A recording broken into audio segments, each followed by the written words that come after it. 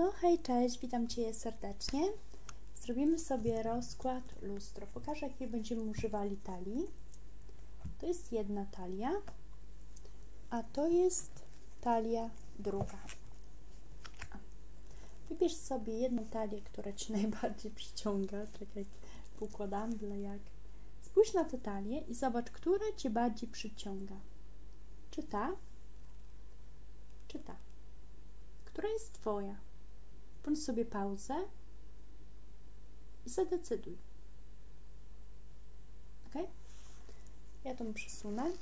Zaczniemy od tej talii.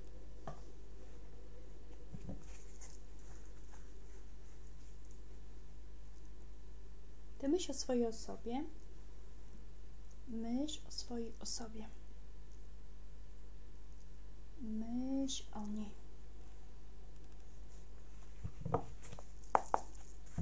I zobaczymy, co o sobie myślicie, co wy do siebie czujecie.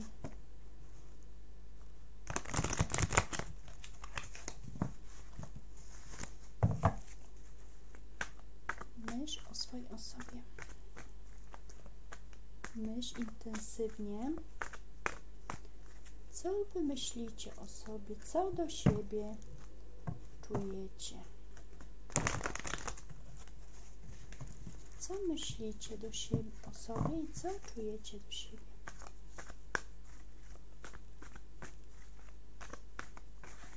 Czyli Twoja osoba. Hmm, ktoś tu po rozwodzie i się zakochał, ale się martwi. Po tej stronie jest ta Twoja osoba, a po tej stronie jesteś Ty. No i na początku zobaczymy Twoja osoba, co ona myśli o Tobie.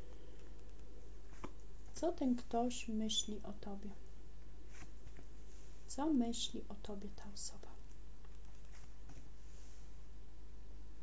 Co Ty myślisz o tej osobie? Co Ty myślisz? Co Ty myślisz o tej osobie? Co Ty myślisz? Co Ty myślisz o tej osobie?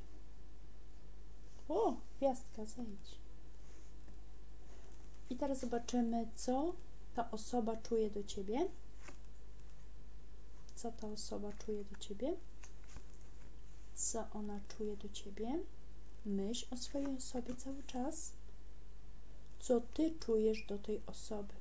Co Ty czujesz właśnie Ty? Co Ty czujesz do tej osoby? Co czujesz do tej osoby? Jakie są zamiary tej osoby w stosunku co do ciebie? Jakie są zamiary? A potem przesunę. Jakie są zamiary? Jakie są zamiary? Jakie są zamiary Twoje, jeśli chodzi o tę osobę? Jakie są zamiary Twoje? Jakie są zamiary Twoje? Co my mamy tutaj od spodu? No, zmartwienie. Piątka kielichów wydaje nam się, Tobie albo dla Twojej osoby, że z tego może nic nie być, albo bardzo się boisz, że nic z tego nie będzie. I teraz tak. Co ta osoba myśli o Tobie? Tutaj mamy, czekajcie, tylko muszę to, tą świeczkę zabrać. Uuu, i nalałam. Co ta osoba myśli o Tobie? Tutaj jest trójka mieczy to znaczy, że ona martwi się, bardzo się martwi, ma czarne myśli, jeśli chodzi o tę sytuację, albo się boi swojej, swojej y, rany, można powiedzieć, tego, że zostanie skrzywdzona, albo boi się, że skrzywdzi jakąś inną osobę, która na to nie zasługuje. I naprawdę to dla niej jest smutne. Chciałaby pójść do przodu, ale martwi się, że ktoś będzie cierpiał i teraz albo ona sama, albo kogoś innego chodzi, tak? Widzę, że ma konflikt w głowie, nie wie za bardzo, która decyzja będzie najlepsza. Chciałaby podjąć decyzję, ale nie wie, która jest najlepsza, która droga będzie ta właściwa, bo na ten moment jej może się wydawać, że obie są trudne i na emocje, na uczucie różne jest zablokowana ponieważ chce na chłodno to podjąć. Nie chce za bardzo kierować się sercem przy wyborze tak trudnej decyzji. Chcę przemyśleć, żeby to była decyzja dojrzała. E, zaczęło się coś. Ona coś rozpoczęła i teraz patrzy, żeby ruszyć już do przodu z tym, bo wie, że stać w tym miejscu nie może dłużej. Nawet w niej jest taka niecierpliwość, jeśli chodzi o zmiany. Nie za bardzo podoba jej się to miejsce, w którym jest. Pragnie zmian, chłonie ich. Ma dosyć tego miejsca. Chce czegoś nowego. Już zrobiła jakieś kroczki, poczyniła, już coś wybrała. No i teraz czas na nowe, czas do przodu. Co ty myślisz o tej osobie? Chciałbyś albo chciałabyś z nią się spotkać, chciałabyś, żeby ruszyło coś w waszym, waszą stronę do siebie nawzajem. Jeżeli ta osoba gdzieś dalej mieszka, może chce, żeby do ciebie przyjechała, albo ty chcesz się wybrać w podróż do niej, lub może chce, chciałabyś lub chciałbyś wyjechać na wakacje z nią, spotkać się gdzieś, albo przynajmniej, żeby między wami w końcu ruszyło cokolwiek do przodu, nagle, bo już nie masz cierpliwości tak dłużej tkwić w tym miejscu, tak długo czekać. I teraz tak, o czym ty myślisz? Jeżeli jesteś kobietą, to z pewnością myślisz o tym, że w życiu tego mężczyzny może być inna kobieta. Może to być jego żona, może to być matka jego dzieci i męczy cię ta sytuacja, że nie jesteś jedyną. Jeśli jesteś żoną tego człowieka, no to możesz się martwić, że jeszcze jakaś była pojawia się w waszym życiu, lub y, martwisz się, że on po prostu pozna kogoś innego, lub za dużo czasu spędza swoją szefową. A jeśli jesteś mężczyzną, pytasz o kobietę, to widzę, że w Twoim życiu pojawiła się nowa kobieta, a Ty masz jeszcze do czynienia ze swoją byłą, z którą nie jest za dobrze. Przynajmniej tutaj jest za dużo osób, ja czuję. I teraz tak, ta osoba, co ona czuje z poziomu serca. Sporo tych mieczek, widzicie, sporo tych myśli jest negatywnych, ciężko jest dla niej. E, w sercu czuję, że już gorzej tak naprawdę chyba nie będzie niż na ten moment. Czasami życie może ją zaskoczyć, bo czasami może być jeszcze gorzej, no ale jej się wydaje, że już chyba gorzej być nie może. 10 mieczy. Czuję okrop, okropny ból tak naprawdę. Wie, że już doszła do krańca, do kresu tej drogi i dalej już nie wytrzyma, nie pójdzie dalej ale też nie może ruszyć z miejsca, ponieważ tutaj jest karta wygody, lenistwa. Jak tu ruszyć? Skoro coś mnie trzyma, jestem taki wygodny albo wygodny, tak przyzwyczajony do tego, co mam, że gdzie mi tam iść teraz? Nie po drodze. Z serca czuję pociąg. Tu jest dosłownie taka energia, jakby ktoś się zauroczył, był w związku, a się zafascynował kimś innym. O, jakie iskry! Czujesz te gęste powietrze między nami? Tak, to ta osoba właśnie to czuje. Hmm, fascynacja, no ale co zrobić, jak nie mogę ruszyć? Co ty masz w sercu? Tutaj jest na pewno dla ciebie ważne to, żeby twoja rodzina była zadowolona z twojej decyzji, szczególnie jeżeli masz dzieci, jeżeli jesteś młodą osobą, to z pewnością zastanawiasz się, co może rodzice na to powiedzą, czy dziadkowie. Ale też wiesz, że może nie jesteście singlami, tu nie jest takie łatwe. Czujesz to, że zawsze jakby rodzina, dzieci mają pierwszeństwo, szczególnie jeżeli to dzieci nie są wasze, a z innych związków. Także tu dla ciebie jest też wygoda priorytetem, to znaczy też nie jest to dla ciebie jakaś miłość wielka, za którą byś poszła z jedną reklamóweczką, zostawiła cały majątek dla kogoś. Nie czuję, żeby to była jakaś wielka miłość, na którą warto stawić wszystko rodzinę, majątek, wszystko. W sercu powiem ci, że nie ma szału, nie ma tu ani wielkiej miłości, ani też nienawiści. Jest, ja powiem tak raczej obojętność bardziej, taka ciepła woda, tak? Nie buzują tutaj emocje, nie ma tutaj szału żadnego. Raczej w sercu z nadzieją, że będzie dobrze. Ty sama, sam możesz nazywać nie wiadomo to jak te uczucia do tej osoby. Ja tu nie widzę wielkiej miłości. Koło fortuny pokazuje, że było źle, teraz jest ten lepszy czas i masz nadzieję wykorzystać ten czas. A jeżeli to jest wielka miłość, uważasz, to wybierz drugą opcję, bo tutaj miłości wielkiej nie ma, ja bynajmniej nie widzę. I teraz jakie są zamiary? Ta osoba nie za bardzo poczyni jakieś kroki, ponieważ jej się wydaje, że cokolwiek by zrobiła, to będzie złe, będzie błąd, nie ma wyjścia za bardzo. Chociaż wie, że albo to zrobi teraz, albo pewnie już nigdy nie zrobi, w tym, w tym momencie bynajmniej tak myśli. Mówi albo teraz, albo chyba nigdy. To znaczy lepiej teraz, tak? Ale też nie wie, co ma zrobić. Sporo tych takich, patrz, ile mieczy, widzisz? jak ona negatywnie myśli o tym wszystkim, jakby nie widziała wyjścia z żadnej sytuacji. Potrzebuje dosłownie pomocy. Musi ktoś jej pomóc, wyciągnąć rękę, jakiś przyjaciel, żeby ona cokolwiek zrobiła, bo sama tu nie będzie w stanie cokolwiek zrobić, powiem Ci szczerze. Jedynie co ona wie, że Ty jej się podobasz. Jeżeli pytasz o kobietę, to ta kobieta jest po prostu zafascynowana Tobą, a jeżeli Ty jesteś kobietą, no to ten mężczyzna jest tobą zafascynowany, tak? Nami tutaj jest pociąg ogromny, pociąg seksualny i pragnienie bliskości, pragnienie ciała tej osoby, chęć podbicia świata razem, spędzenia fajnego czasu, przeżycia jakiejś fajnej przygody. Oj, kręci tą osobę, twoja osoba. Czuję tak. No i tak, co ty masz w zamiarach? Ty tak naprawdę sam walczysz albo sama walczysz z myślami, z wszystkim.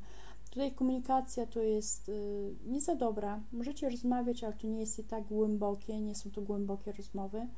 I widzę, że masz dylemat między kilkoma opcjami, kilkoma możliwościami. Nie wiesz, jednego dnia się budzisz, chcesz tego, następnego podważasz to wszystko i ciężko jest tak się przypychać jeden z drugim. Próbujesz pogodzić swoje życie, w którym jesteś, z marzeniami, z planami, nie zawsze to wychodzi. Troszeczkę bawisz się tym, nie jest to dla ciebie za bardzo poważna sytuacja z tą osobą. Może wynika to z tego, że jest trudna. To co ma być poważne, żeby stawiać wszystko na jedną kartę, skoro jest trudna, tak? Czujesz jakiś taki niesmak i boisz się ogromnie porażki, że tu jednak nie wyjdzie, że ta osoba może wybierze kogoś innego. Ja zobaczę dla ciebie, co jest E, co jest między wami siłą na początku tej relacji? Co jest między wami siłą? Co jest siłą tą, tej relacji? Miłość. Miłość lub trudna miłość przy kole fortuny, karmiczna miłość, która przyszła nagle, spadła jak grom ze snego nieba wcześniej i ciągle w Was jest. Jeżeli to nie jest miłość, to jest po prostu ogromna fascynacja lub znalezienie w tłumie osoby bardzo pasującej dla nas. A że jest trudna relacja, trudna sytuacja, nie możemy od razu może być z sobą, no to czekamy na rozwój tej sytuacji. Ale tak bardzo do siebie pasujemy. To znaczy, to jest to siłą, że pasujecie do siebie. Czy to um, fajnie Wam się rozmawia, czy razem dobrze się czujecie, czy akurat osoba wygląda tak, chcieliście, żeby wyglądała, cokolwiek, coś zaiskrzyło, jakaś magia powstała, tak? Spośród tłumu akurat ta osoba. Tak było i to ciągle jest tą siłą między wami. Że jesteście takie dla siebie idealni, uklepani z tej samej gliny. A co jest przeszkodą? Co jest przeszkodą? Przeszkodą jest to, że jedna osoba może myśleć, że to jest tylko flirt. Nic nieznaczący romans i z tego może nic nie być, żaden związek i to zostanie tylko na tej płaszczyźnie. To jest przeszkodą. Ktoś się obawia, że to tylko fascynacja i to jest tylko chwila i nic nie ma głębszego. Któraś osoba z Was się boi. Także dziękuję dla Was, kochani. Jeżeli to był Twój rozkład, to powiedz mi, czy rezonuje z Tobą. A jak nie, to spróbuj nową talię, następną lub może następnym razem. Trzymaj się. Jesteś ciekawy, która to jest godzina u mnie? To Ci powiem, że jest pierwsza w nocy. Nie mogę spać i pomyślałam sobie, że zrobię dla Was lustro. Dobrze. To to pozwoli, że ja wsadzę tą talię na razie tutaj, żeby mi się później nie wysunęły i gdzieś nie poleciały, bo siedzę w dziwnym miejscu. Weźmiemy sobie drugą talię. Jeżeli ta talia jest Twoja, tak? Zobaczymy u Ciebie, co słychać. Co u Ciebie słychać? Myśl o tej osobie. Myśl intensywnie. Teraz myśl. Myśl o tej osobie. Ok?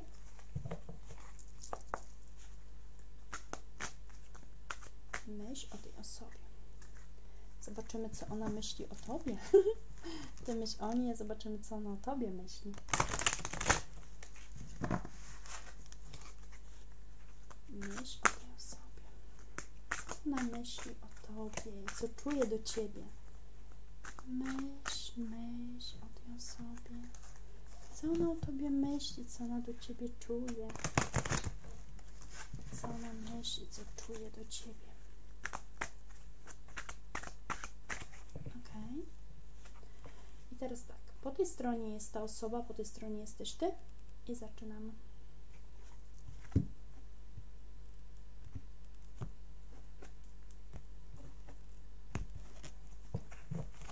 Co ta osoba myśli o Tobie?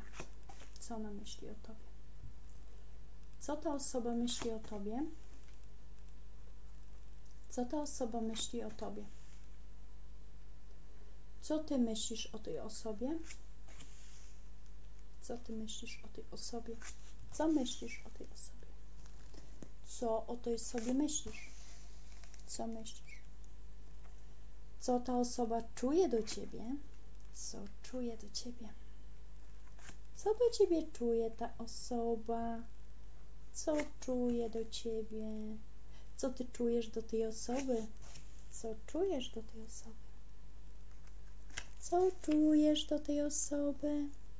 Co do niej czujesz? Jakie są zamiary tej osoby, jeśli chodzi o Ciebie? Jakie są zamiary? Jakie są zamiary?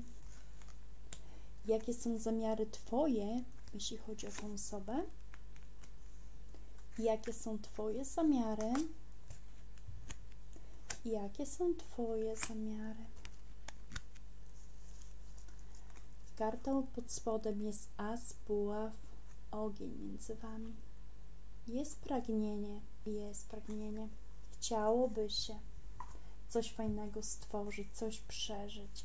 I teraz tak, co ta osoba myśli o Tobie? Tutaj mamy kartę świata, to znaczy, że któryś z Was myśli o zakończeniu starego etapu w życiu i wejście na inny poziom, inny level, zacznięcie innego życia, może nowe życie, może nowa osoba, może nowe małżeństwo, a może nowa przyjaźń. No, bynajmniej tutaj jest czas rozpocząć coś lepszego, coś nowego. Już tam to jest za tą osobą i ona myśli o czymś nowym, chyba że ona myśli o tym, że czas, żebyś ty zrobił ten krok i zamknął coś w swoim życiu, jakiś stary rozdział i wyrzucił klucz. I teraz tak. Ta osoba myśli, że trzeba tutaj do tej znajomości się przyłożyć, jeżeli się chce, żeby coś z tego było, bo za darmo nic nie będzie, a jeszcze długa droga Was czeka. Nie ma ochoty ona się poddawać, widzę, że widzę, że ona poddawać się to nie chce. Ona chce kontynuować, ona chce się zmusić, się zmobilizować i zdecydować, co dalej, bo wie, że chce osiągnąć szczęście, chce czuć satysfakcję, chce wygrać w tej sytuacji, chce dużo osiągnąć, a jeszcze dużo przed nią, może jeszcze nie ma do końca pomysłu na wszystko, jak to ograć, szczególnie, że jest obok trójka kielichów, to znaczy, że możecie, no wiecie, możecie być w sytuacji jakiejś trójkątowej. Na przykład ta osoba może być zazdrosna o kogoś w Twoim życiu, może równie być tak, że ta osoba myśli o tym, że, że nie jesteście sami, że Ty kogoś masz, ona kogoś ma, no to tu już jest taki trochę problem, tak? Czy ktoś z przyszłości, czy ktoś aktualny, bynajmniej tutaj za dużo jest osób i ta osoba o tym myśli ty jesteś w siódemce miecze, to znaczy albo ty nie ufasz tej osobie, jeżeli ona mówi odejdę kiedyś od kogoś, to ty zupełnie może jej nie ufasz, bo to jest podejrzliwość, sprawdzanie. I ci powiem tak, jeżeli ty jesteś y, osobą ufną, to może też myślisz, Wiesz co, powiem Ci szczerze, że któryś z Was komuś nie ufa. tak w ogóle. Bo, bo Ty możesz myśleć, że ta osoba Ci nie ufa, a możesz Ty nie ufać jej. No, no to, samo wychodzi. W sumie nie to samo, ale wychodzi, że nie ma zaufania. To już pomyśl, kto komu nie ufa, bo energia się zmienia, no to w sumie i tak ktoś komuś nie ufa. Ktoś kogoś podejrzewa, sprawdza, nie ma zaufania. Ale z Twojej strony jest chęć związku. Widzę. Nie powiedziałabym, że Ty chcesz yy, romansu. Tutaj wygląda, że coś, co da Ci poczucie stabilizacji w końcu. I widzę, że dużo marzysz, bardzo dużo. Kładziesz się wieczorem do łóżka i marzysz. Wyobrażasz sobie, jak razem spacerujecie się, całujecie, tworzycie rodzinę fajną, siedzicie, jecie kolację, idziecie do pracy, całuje ciebie, masuje ciebie. Wyobrażasz sobie, marzysz sobie, dużo myślisz o tym. Ale też nie boisz się patrzeć na ciemną stronę tej sytuacji. Nie przymykasz oczy na nic. Patrzysz śmiało. Odważny jesteś osobą. Co czuje ta osoba?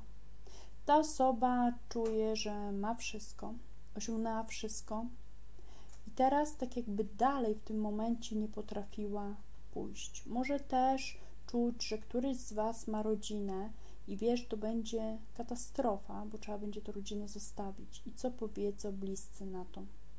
Tutaj bynajmniej jest takie załamanie w sercu. Może było tak w niektórych sytuacjach, że wy tworzyliście rodzinę i było jakieś rozstanie i teraz porażka, bo któryś któregoś pogonił, też może być. Bynajmniej no tutaj, jeżeli chodzi w sercu, to czuję takie rozdarcie, bo z jednej strony jest gdzieś u kogoś szczęście rodzinne i świadomość, że można to zniszczyć.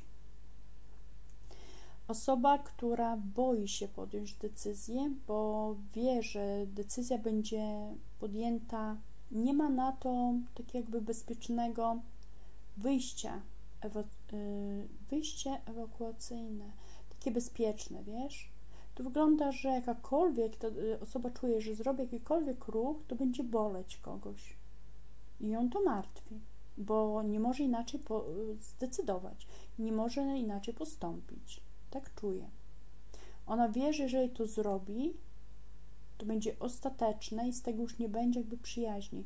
Może być tak, że ona ma rodzinę i wie na przykład rodzinę byłą czy dzieci i wie, że przez to, że ona coś zrobi, to już tu nigdy nie będzie między nimi dobrze.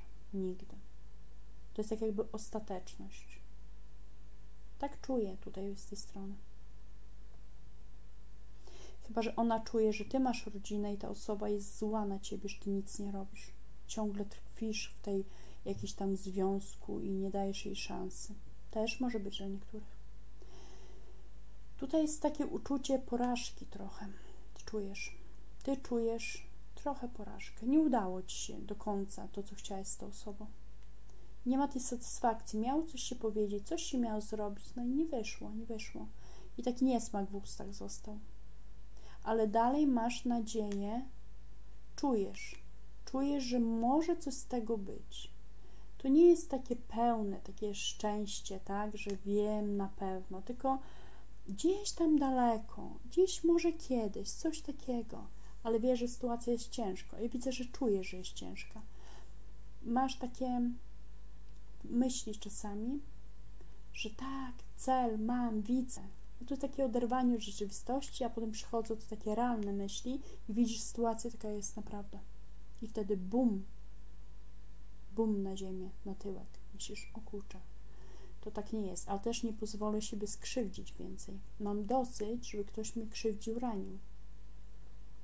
Potrafię tupnąć nogą i potrafię za bronić swojego i swojego serca, żeby ktoś nie zranił znaczy, że ty jesteś osobą stąpającą po ziemi twardo. Możesz sobie marzyć nocami, ale za dnia, za dnia stoisz twardo.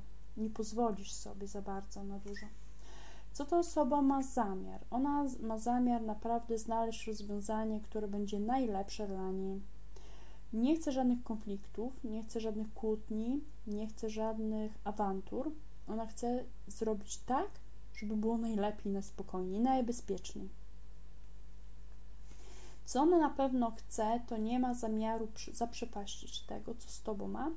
Chce zamiar to kontynuować, to już drugi raz się powtarza.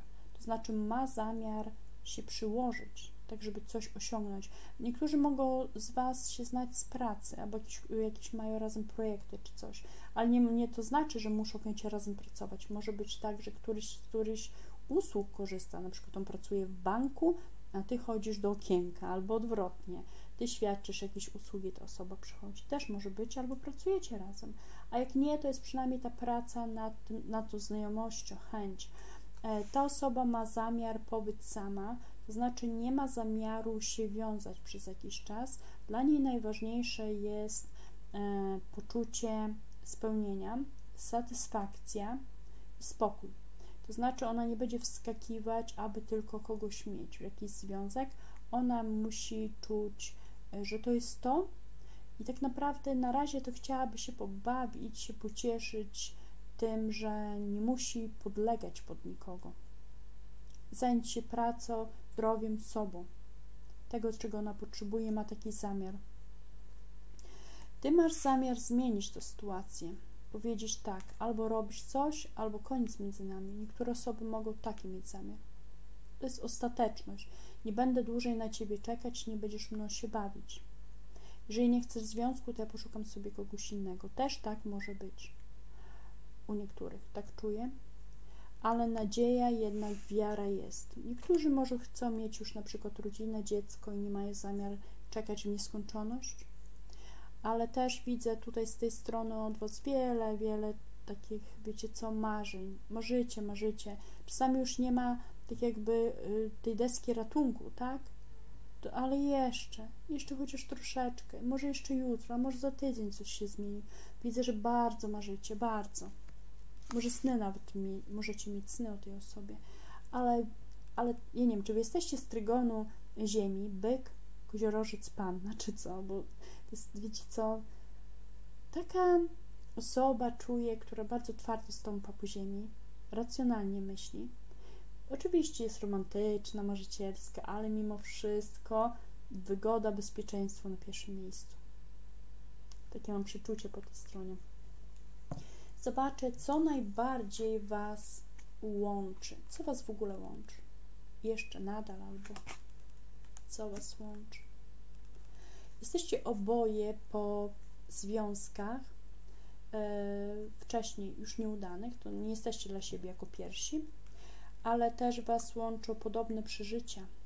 Może, może jeżeli nie mieliście związków, to wychodzicie z podobnych rodzin, może Wasze rozmowy właśnie były, odbywały się takie, że Byliście dla siebie przyjaciółmi, ponieważ rozumieliście się doskonale. Może się wspieraliście, może któryś któremuś pomógł stanąć na nogi. Także Was y, łączy tak jakby ból. Y, może być tak, że Was łączy coś z innego wcielenia i Wy się poznaliście i wyczuliście, że ta relacja jest trudna, ale nie potrafiliście odpuścić. Łączy Was dużo, dużo Was łączy. Taka głębia a racjonalne myślenie też. A co Was dzieli najbardziej? Najbardziej co Was dzieli? Najbardziej to Was dzieli to, że jesteście dla siebie trudnym wyborem, nie jest dla Was łatwo. To najbardziej Was dzieli, bo są kochankowie. To znaczy, że nie możecie jakby z jakiegoś powodu, z powodu trudnego wyboru by, być razem, a nie potraficie tego wyboru ostatecznego podjąć. No to jest faktycznie duży podział bo najfajniej jest, jak podejmujemy, podejmujemy decyzję, ponieważ to jest nasza. A tu jest tak, że ty nic nie robisz, ponieważ czekasz na tę osobę, co zrobi, a ta osoba identycznie robi w stosunku co do ciebie i to może trwać, trwać w nieskończoność. Ta fascynacja jest sobą, ale też jest ból. Czuję. Ogromny ból. Tutaj była, była jakaś, jakiś szał, to była wielka miłość, ale czym dalej jest, to tym bardziej boli, i tym bardziej człowiek już myśli, że no nic z tego nie będzie i się chyba będzie musiał pewnego dnia myśli poddać, ale jeszcze pomarzę, bo może jakoś wyjdziemy z tej sytuacji. Wiecie co? Ja tu też nie widzę jakiejś wielkiej y, miłości takiej powiem szczerze, łatwej. Jeżeli ktoś tutaj słucha i przeżywa teraz fajną miłość, to chyba nie dzisiaj dla niego rozkład. Tutaj ktoś musiał usłyszeć, kto jest w trudnym związku. Trudna miłość. Tak ja czuję. Może jakieś osoby musiały to usłyszeć. Także trzymajcie się, kochani. Pozdrawiam Was bardzo serdecznie.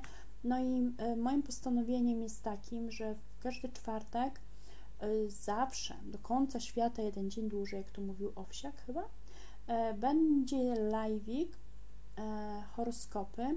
To będzie każdy znak zodiaku. Zobaczycie połączenia miłosne. Osoba, która jest w Waszym życiu gdzieś w teraźniejszości, będę oczywiście spod jakiego znaku ta osoba jest zodiaku i też osoba z przyszłości, co czuje, takie ogólnie. Zobaczy, bardzo fajne, także serdecznie zapraszam. W czwartki, e, godzina to jeszcze dokładnie nie wiem, ale myślę, że dzień wcześniej powiem. A czy to nie jest czwartek jutro? tak w ogóle, czekajcie. Jutro czwartek jest. Dobrze, dobrze ja widzę? No to pewnie to jutro będzie. Trzymajcie się, dbajcie o siebie. Zostawcie znak kropkę, kreskę w komentarzu, że byliście, że słuchaliście. No i porozmawiajcie. Zobaczymy, co powiecie o Waszych historiach. Pa, pa!